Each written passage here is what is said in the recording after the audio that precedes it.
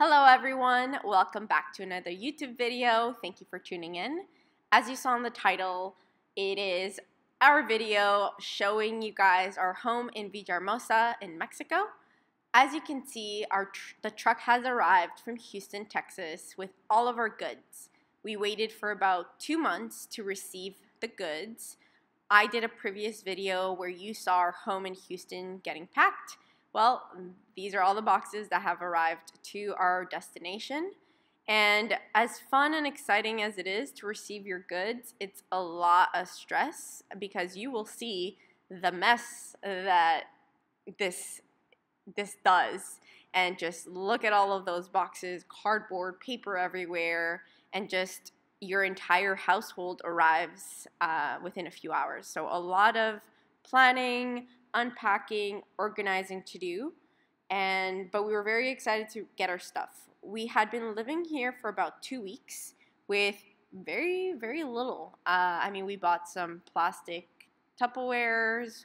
We got some throwaway spoons and knives, and just like basically camping inside this house.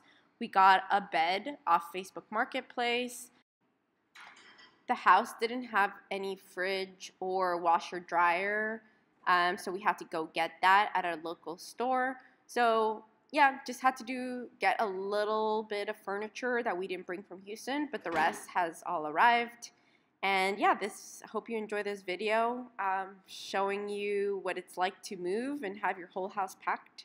And um, yeah, hope you guys enjoy the rest. Um, and I forgot to add, so they deliver all of the household goods, and they also put all of the furniture together.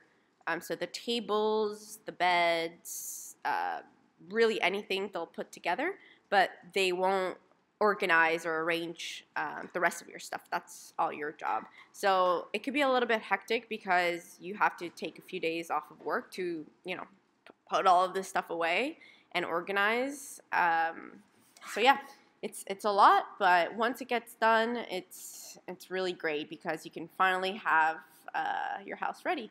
And as you'll see in the rest of this video, um, we finally organized the house, um, so you'll see a, an update of what the house looks like now, now that everything's done.